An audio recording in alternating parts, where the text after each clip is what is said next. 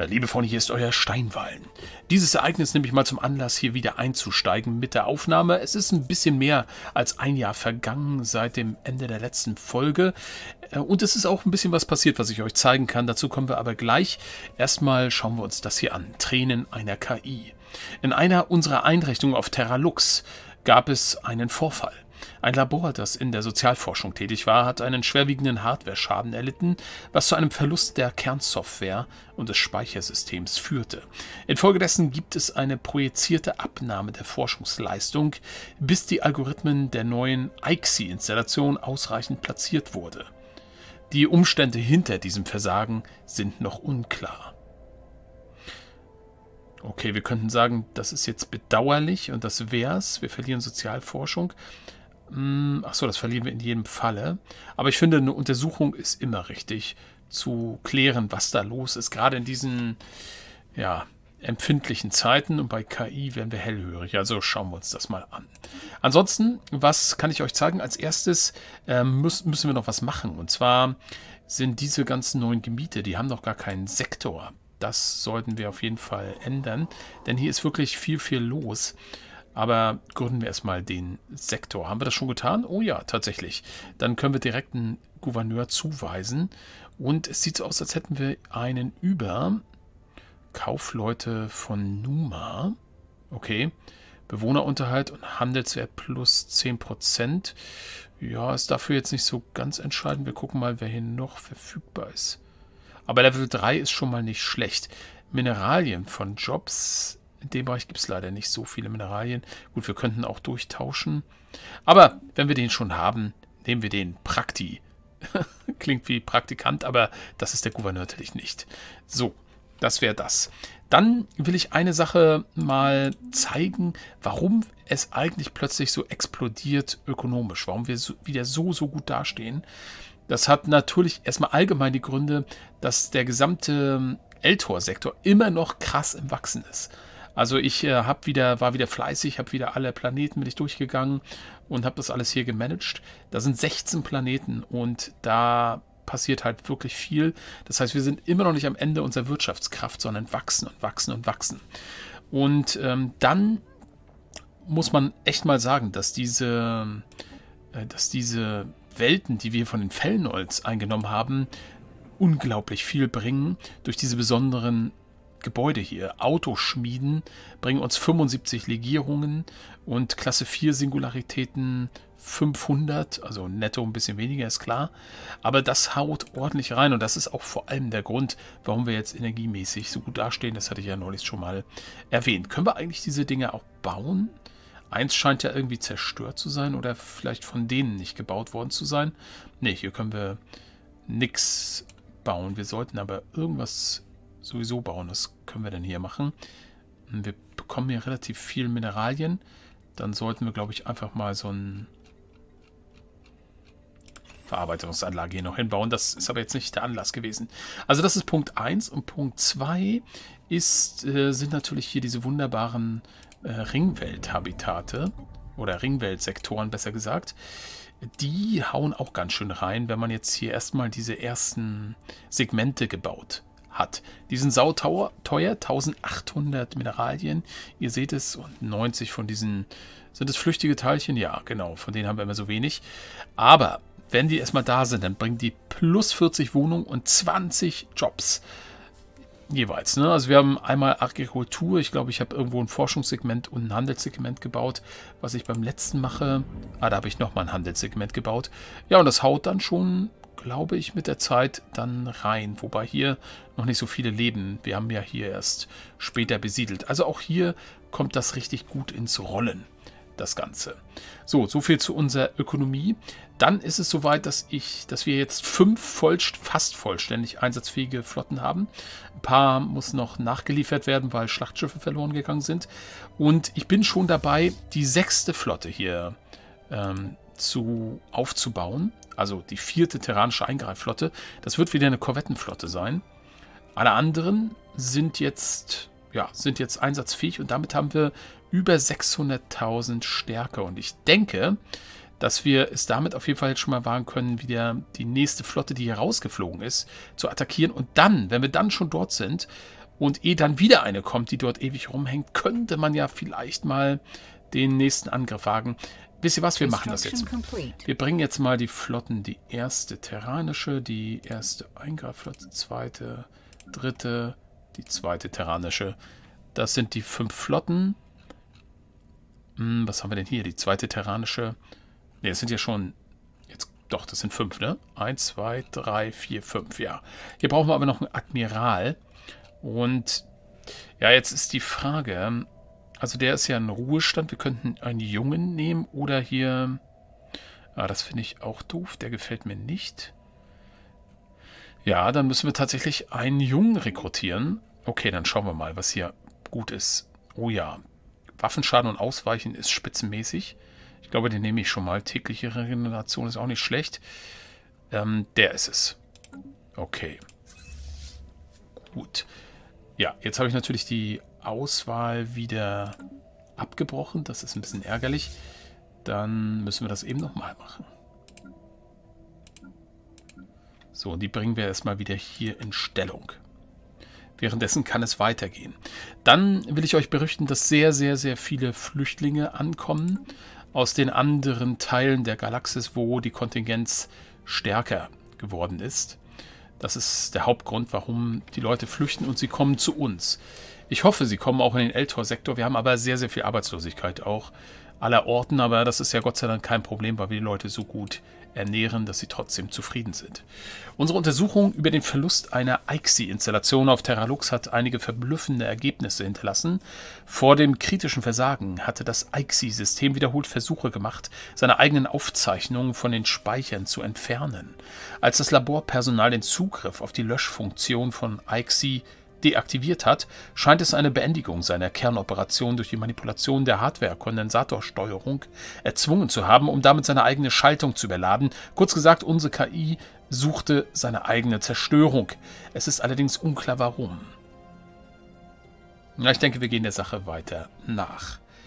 Und dann eine letzte wichtige Sache, die ich euch berichten kann, und zwar der Weltenbaum. Und das ist wirklich ein erstaunliches Ereignis dieses Schwarmbewusstsein, was auslöschend agiert, ihr erinnert euch, die sind tatsächlich in eine Fraktion eingetreten, in eine Föderation, will ich sagen, mit den UdSSR und Liebe ohne Leid. Das ist schon, das ist schon heftig. Vielleicht angesichts der Bedrohung, ansonsten kann ich mir das nicht erklären. Ich meine, sie werden ja von der Kontingenz hier auch hart bedrängt. Das ist möglicherweise die Ursache. Tränen einer KI, es geht weiter. Wir haben unsere Untersuchung über die seltsame Angelegenheit der IXI-Selbstbeendigung auf Terralux abgeschlossen. Offensichtlich hat die IXI-Installation nach monatelangen evolutionären Berechnungen im Falle eines ausschweifenden Krieges zwischen der Terranischen Union und unseren Rivalen mehrere alarmierende Ergebnisse in Bezug auf Verlustrechnungen hervorgebracht.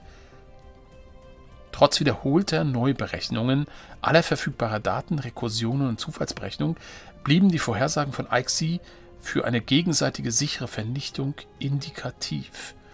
Oh mein Gott, ist das hier eine Prophezeiung? Zu diesem Zeitpunkt hat Ixi damit begonnen, seine eigenen Speicherbanken und Aufzeichnungen zu löschen. Der Rest, wie sie sagen, war Geschichte. Hm. Ein sehr rätselhaftes Ereignis. Die Frage ist, falls die KI jetzt wirklich so intelligent agiert hat? War sie traurig, weil sich beide Seiten auslöschen oder war sie traurig, weil damit auch, weil damit auch ihre Freunde, die Kontingenz, möglicherweise sterben? Man weiß es nicht. Beunruhigend ist das allemal. So, und dann haben wir noch ein, eine Reliktaktivierung. Und hier würde ich sagen, werden wir die Baol wieder aktivieren, weil das hat diese Schiffe, die sind nicht so optimiert wie unsere, auch wenn sie teilweise ganz gut sind, ähm, nutzen wir die nicht. Aber wir werden im L-Cluster weitermachen und hier Baol-Saat ausbringen. Lebenssaat der Nubaol. Das machen wir. Okay, dann will ich diesmal dran denken, dass ich das auch umbenenne. Habe ich bei den anderen Planeten auch nachgeholt.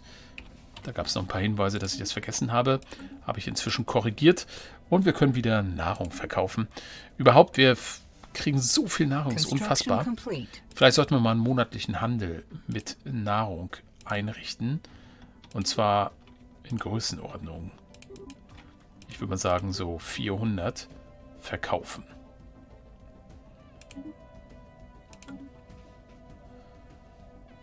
Okay, jetzt habe ich lange nicht mehr auf unsere Flotte geachtet. Zum Nachbau. 5400 haben wir wieder zur Verfügung. Und unsere Schiffe nähern sich dem Ziel. Bisschen Verstärkung müssten sie nebenbei auch noch so mitkriegen.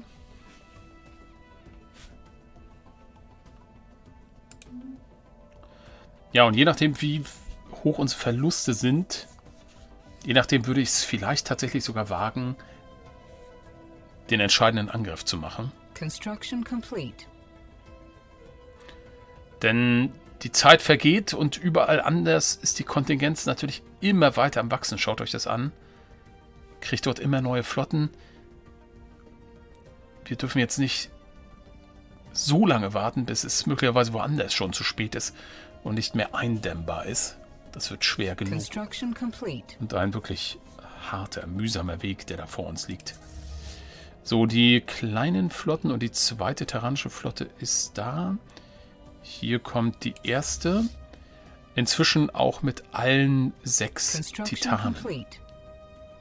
Also vollzählig und vollständig.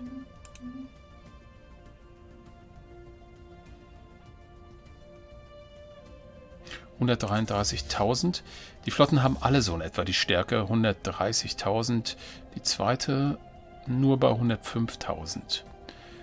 Okay. Eine Sache wollte ich nebenbei noch machen. Und zwar, das haben wir noch nie gemacht. Wir können militärische Anwendungen für unsere Artefakte mal versuchen. Wir gucken mal, was, was da vielleicht herauskommt. Auf welchen Aspekt sollen wir uns konzentrieren? Kampfdrogen? Nein. Harmonische Isolierung, Schaden, Schilde plus 10%. Schadenpanzerung plus 10%. Ach, wisst ihr was? Das ist natürlich jetzt dämlich, weil alle unsere Waffen machen weder Schildschaden noch Panzerungsschaden. Oh, nee, ernsthaft? Das ist ja wirklich doof. Ich meine, es gibt ein bisschen Panzerungsschaden. Was wir machen, dann eher das. Ich glaube, Schildschaden machen wir so gut wie gar nicht. Hm. Ist das jedes Mal dasselbe? Naja, wir machen das dann jetzt. Haben wir es ausgegeben. Okay. So, die erste terranische Flotte ist in sechs Tagen vor Ort. In fünf. Und dann geht es los. Construction complete.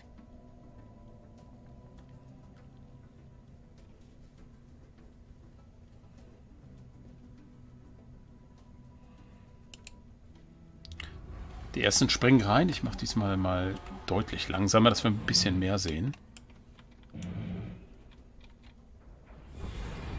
So, jetzt sind die Großschiffe auch drin.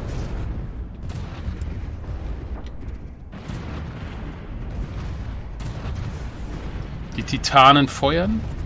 Ihr seht es. Bin gespannt, ob wir mehr töten vom Gegner. Das wird interessant sein. Und das war schon. Oh. Obwohl wir es langsam gemacht haben, ging es sehr schnell. Äh, Krikri, so heißt er. Krikri. ist auf Stufe 2 gekommen. Sehr schön. Und jetzt bin ich gespannt.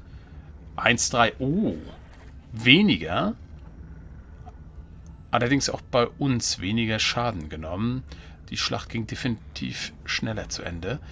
Was aber auch okay ist. Weil wir haben jetzt kaum Verluste gehabt. Und ich denke, wir nutzen die Gelegenheit und fliegen jetzt tatsächlich rein dort. Sind alle Flotten da eigentlich? Ja, ne? Eben wurden mir nur... Ja. Ne, jetzt sind alle da. Die vierte, da sind wir noch am Ausbau, werden wir nochmal neu finanzieren. Und ja, dann geht's los. Leute, sind wir jetzt besser vorbereitet? Es ist schon ein bisschen spannend jetzt. Das heißt, ein bisschen spannend. Das ist jetzt ein echter Höhepunkt. Nach der ersten Niederlage stellt sich jetzt die Frage, ob wir aus dieser Niederlage gelernt haben, besser agieren können. Wir werden direkt in Empfang genommen mit dieser kleinen, von dieser kleinen Flotte. Und die Station ist natürlich auch noch da, das dürfen wir auch nicht vergessen. Koordinierungszentrum des Weltentraums? Okay, dann wollen wir mal sehen. So, die haben wir jetzt erstmal gekillt. Das ist schon mal gut. Jetzt geht's gegen die Hauptflotte des Gegners. Die große Hauptflotte.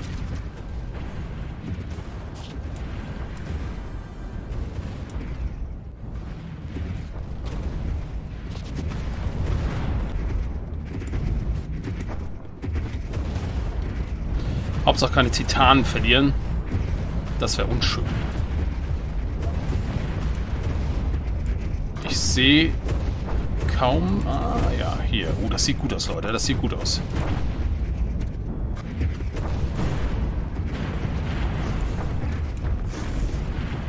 Das kann was werden. Ja. Das ist der Sieg. Das ist der Sieg. Okay. Jetzt müssen wir natürlich den Sieg noch ummünzen, indem wir den Rest hier vernichten und dann vor allem das Hub vernichten. Schauen wir mal. Die Station ist natürlich noch da.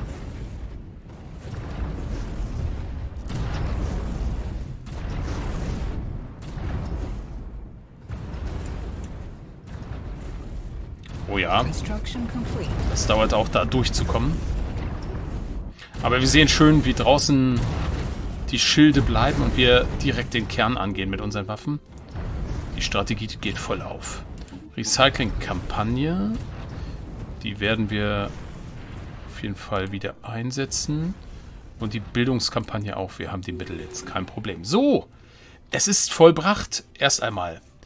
Der Feind ist vorerst besiegt. Admiral Krikri hat Stufe 3 erreicht. Und wir schauen uns die Kampfstatistik an. Ja, wir haben was? Wir haben fünf Titanen verloren? Wow. Okay. Also mit hohen Verlusten. Mit hohen Verlusten, wirklich. Elf von 15 Schlachtschiffe. Interessanterweise scheint er sich völlig auf unsere Großschiffe konzentriert zu haben, während hier unsere Korvetten kaum Schaden genommen haben. Okay, gut, jetzt heißt es aber, was ist eigentlich damit? Ist das auch... Ist das von denen irgendwie besetzt? Nee, ist es nicht. Oder? Doch, hier sind irgendwie Drohnen drin.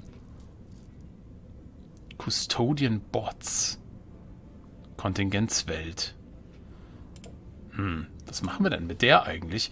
Also, ich würde mal sagen, erstmal muss dieses Hub. Und ich glaube, das befreit man jetzt nicht in dem Sinne, wie wir es kennen sondern das muss man bombardieren. Das muss man kaputt bombardieren, wenn ich es richtig sehe.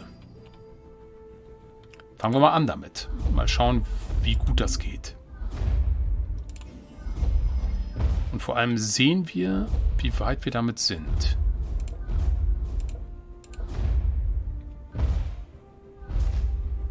Hm. Aha. 0,05. Oha, das scheint lange zu dauern. Kann sein, dass sie sogar... Construction complete. Verwüstung 1%. Also, meines Wissens können wir nur auf diese Art und Weise diesen Hub ähm, loswerden. Ich hoffe, ich liege da richtig.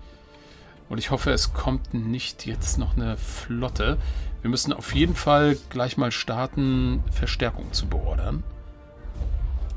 Ja, machen wir das mal.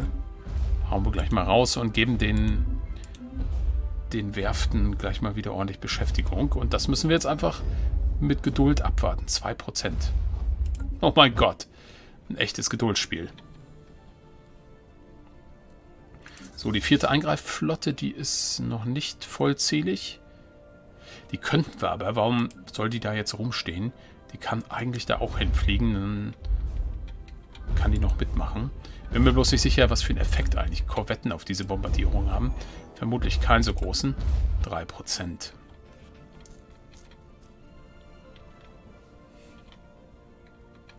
Ich meine, oder wir könnten natürlich Folgendes machen, aber das ist relevant. Ne? Die anderen Stationen könnten wir natürlich ausschalten mit dieser Flotte. Das wäre auch eine Möglichkeit. Oh, nein! Ernsthaft? Es ist noch eine Feindflotte erschienen. Uiuiuiui, okay. Das ging ja schnell. Und damit haben wir direkt eine Flotte verloren. Und auch ein Admiral. Oh, das ist... Krieg, Krieg. Oh mein Gott, Leute.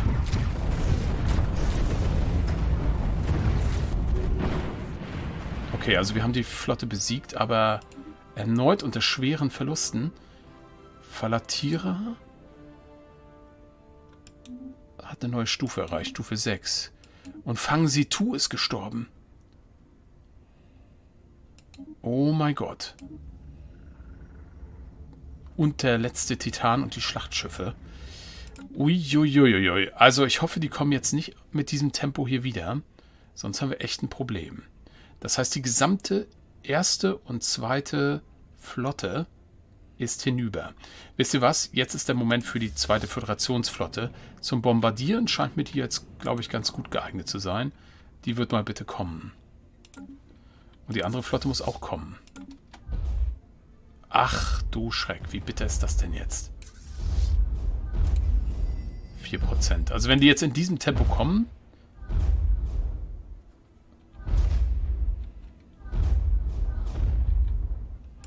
krass, wie empfindlich auch unsere Großschiffe da sind. Ne?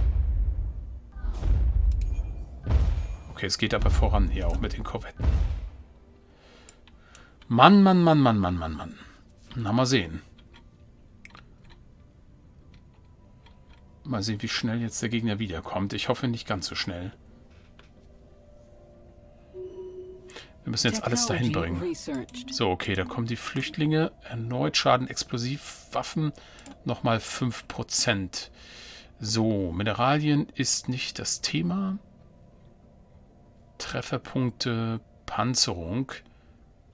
Das ist, glaube ich... Obwohl, wir haben relativ wenig Panzerung. Das war Quatsch jetzt von mir.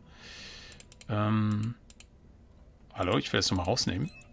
Nein, was habe ich jetzt gemacht? Oh, ich habe irgendwie Mist gemacht. Weil das laggy war, habe ich jetzt... Ne, er ist drin geblieben. Ach, hier kann ich wechseln. Ja, das andere ist auch nicht so doll. Und Trägergeschwader haben wir relativ wenig. Wahrscheinlich noch sinnvoller, als die Panzerung zu verbessern. Puh. So. Dann müssen wir jetzt erstmal die vorhandenen Flotten würde ich sagen, verstärken. Geben wir hier 9000 aus. Und jetzt sind einige Schlachtschiffe sind hier im Bau. Allerdings existiert die dazugehörige Flotte nicht mehr. Hm. Das heißt, wir müssen echt nochmal komplett die Flotten designen und nachbauen. Aber ich muss sagen, ich werde nicht nochmal eine zweite Schlachtschiffflotte bauen. Die sind gestorben wie die Fliegen. Also diese erste Flotte mit den Titanen, auch wenn die extrem viel ebenfalls abbekommen haben, die ist sicher sinnvoll, wegen der Aura-Effekte vor allem. Aber die Korvetten sind dermaßen überlegen und geeignet, um diese hier zu bekämpfen. Oh, warte mal, wir haben ja sehr, sehr viel Energie. Wir können jetzt mal Legierung kaufen. Für 54.000, ja, machen wir mal. Construction complete.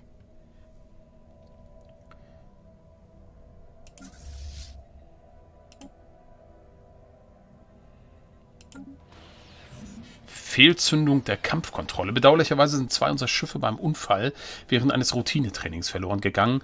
Es scheint, dass mehrere unserer Onboard-Kampfcomputer von einer hochgradigen Fehlfunktion der Zielsuche befallen waren, was zu einem plötzlichen Beschuss der eigenen Leute führte und zwei Schiffe zerstörte, bevor eine manuelle Notfallroutine durchgeführt werden konnte.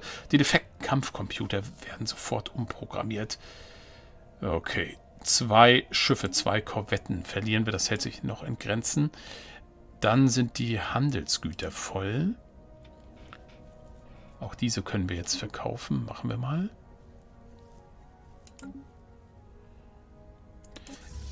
So, ich frage mich gerade, ist die Föderationsflotte, ist die schon eingetroffen? Nee. Die ist noch im Fliegen und die vierte Eingreifflotte, die ist inzwischen da. Ne? Wir sind bei 15 Prozent. Technologie, Feuerrate, Energiewaffen. Das ist schon mal gut. Hm, Trefferpunkte Schilde, das sollten wir mal als nächstes erhöhen.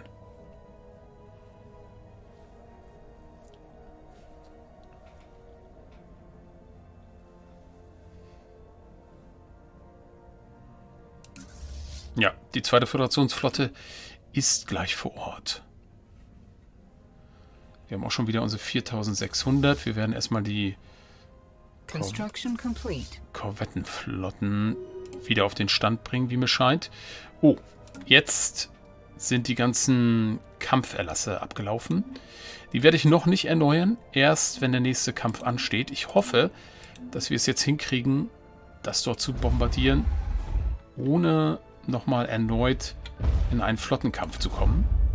Wir sind jetzt hier bei 18 Prozent. 19. Täglich 0,05. Naja, könnt ihr euch ausrechnen. Ich weiß nicht, ob wir bis 100% das bombardieren müssen. Schauen wir mal. Ich habe das Gefühl, es sieht schon ein bisschen angeschlagen aus, oder? Auf jeden Fall ist jetzt die zweite Föderationsflotte da. Sie wird mir aber noch angezeigt, dass sie hinfliegt. Aber jetzt müsste sie bombardieren, oder?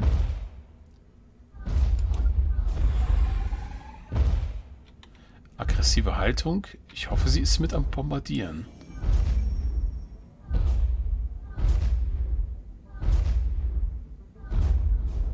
Hm. Also sagt äh, immer noch 0,05. Kann sein, dass ich beim Maximum bin und es einfach nicht schneller geht. Das ist äh, genauso gut möglich.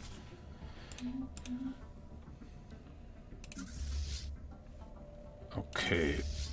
Tier weiter verstärken. Aber dann sind wir hiermit durch. Dann die dritte Eingreifflotte weiter verstärken. Sind wir auch durch. Und dann die vierte Eingreifflotte. Da sind wir erstmal wieder am Ende. Aber das Wichtige ist, dass hier gebaut wird. Wobei die Schiffswerft ist mal wieder nicht beschäftigt. Und hier kommt der Nachschub rein. Das heißt, wir sind jetzt auch schon, werden auch langsam wieder stärker, falls jetzt doch noch eine Flotte kommt. Und es sind offenbar hier auch Freunde bei uns. Die Heilige Republik von Lifanien. Immerhin mit 15.000. Nun gut. Ja, liebe Leute, das ist der Stand hier bei uns. Ich werde mal im Situationsprotokoll nachschauen. Okay. Wow. Wahnsinn, wie wenig die anderen hier leisten können. Mehr als sieben Welten haben sie nicht assimiliert. Da gab es keinen Fortschritt. Und immer noch ist diese Maschinenwelt aktiv. Ich hoffe, nicht mehr lange. Gut. Ich werde mich wieder melden, wenn hier irgendwie Neues passiert ist. Im Moment bombardieren wir. Also falls äh, demnächst wieder eine Schlacht ansteht, dann ist das der Auftakt oder wenn irgendwas anderes Spannendes passiert. Wir sehen uns wieder in der nächsten Folge. Bis dahin macht's gut, euer Steinwallen.